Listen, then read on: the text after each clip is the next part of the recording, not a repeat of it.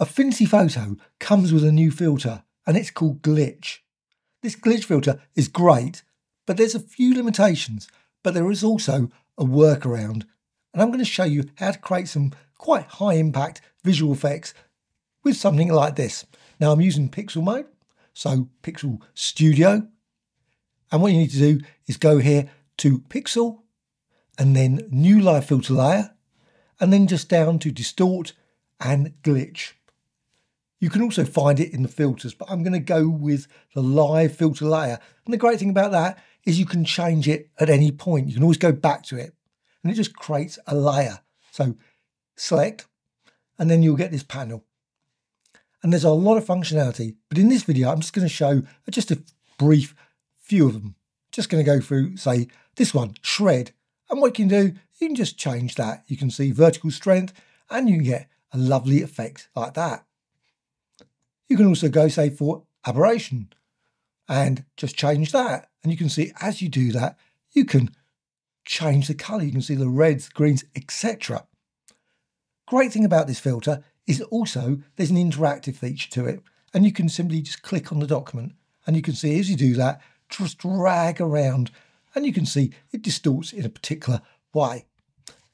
Now there is a limitation to this, which is unusual for the Affinity product and that is the glitch strength just goes up to 100%, which I'm surprised. I don't know why they just didn't go for 500% or 1000%, because then you could create some really truly weird effects.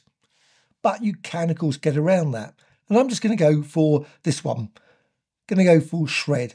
I think it's a nice one. Creates this like lovely sort of square effect where it puts parts of the, the face or obviously whatever you've got in different places. And of course, you can modify the strength. You can modify the vertical strength. You can see that goes down that way and moves there. Pixel spacing, and you can see that will increase there. So I'm just going to go say something like that. But exactly the same as the other one. You can't push this beyond 100%. Previous versions of Affinity and many of the other panels, you could do this. You could put in 300, but it just puts it back to 100% which I think is slightly annoying because why not push it to 200% or 500%, shift them in even more ways. But okay, what I'm going to do is I'm just going to set it here, something like that. And now what I can do is I can just close it. So I've got that, but now I can go over here. Here's my layers panel. Obviously you can find that in window and then just go down here and there's an awful lot They've got this general help, etc. So they've really made a lot of panels. I think it's going to take a bit of time to go through these and find where all the panels are, if it's in the vector section, etc. And you can see you've got a whole range of different options there. But okay, got layers. That's the one I want. That's the only one I'm going to be using this. If I go over here now, I can expand this out and you can see I've got a glitch here. Oh, I can duplicate this don't have to keep it just like that. So there, I can then right click and duplicate. So all you do, right click and duplicate. So duplicate, and then you've got another one. And you can see the effect then. Obviously, you just changes it even more. Let's just just click into here. So just click it, just this bit, just click there. And now you can see the live glitch again. And you can tweak this and you can see now you get this lovely vertical strength and you can modify it in more ways than obviously just the basic 100% max. And also pixel spacing, you could just change that, maybe change it, doesn't have to be the same. They're different, they're, they're independent. So you can then modify that. But also what you can do is you can go here to blend mode. And let's just go here to say darken multiply so you can create an interesting effect that way. Color burn, I think creates some very interesting effects when you combine it like that. And you can also go through lighten to create interesting designs like that. And maybe lighter colour or darker colour and so on. Again, I can close that. And now, again, right click. And again, just there to duplicate. And you can see then I get this effect. And it's just creating an interesting combination of things. Again, click here.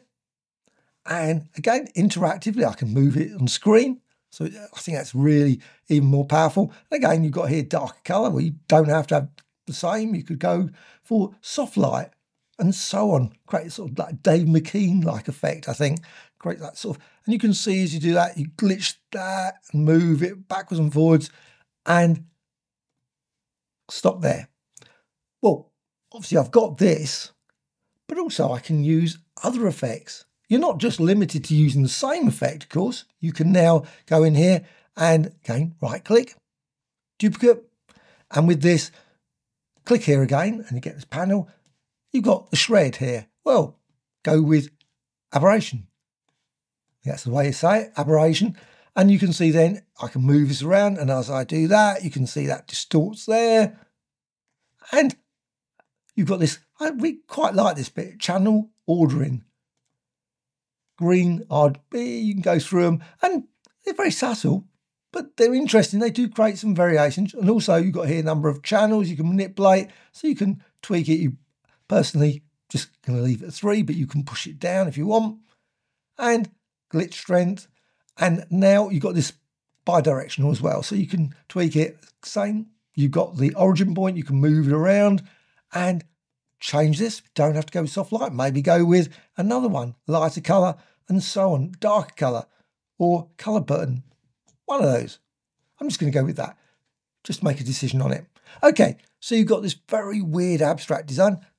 And of course, I can then right click and duplicate, and you can see how this is going. It can get very, very dark. I think that would make a great film poster effect. You've got the, you still make out the image. You've got this, if it's a real sort of intense psychological drama, you could imagine having this sort of weird sort of distortion here. And again, click here and maybe try some of the others. There's a lot of them. Now, some of them are very subtle effects. Some are interesting colour there. And I'm going to go through them all in future videos. Quantization, I think, creates nice, interesting effect, scramble, and so on, something like that. You can see now you've got a very strange effect. Again, colour burn, maybe go for lighten or difference, and so on. You can see you can build up quite a complex design using, obviously in this case, just five glitch effects all combined to be applied to this image. And of course, you could still have the original image still there. So you've got the background, you can just duplicate that and have that behind everything. So you've still got the image and also you've got all of these glitch effects added on top as well. So hope you found this of interest. As mentioned, I will go through some of the other filters as well that are available here. And before I go, just to remind you, also you've got pixel filters as well as down here distort and glitch there. So you could just use it as just a standard filter effect. But this at least means when you go with the live filter layers is you could always go back to any of these at any point and just change your mind. So just click on it and with that you can change that horizontal strength, you can change the blend mode and so on. A whole range of different options if you just see even more possibilities with a slight variation in the settings and close. Hope you found this of interest. Any questions, thoughts? Let me know. Bye.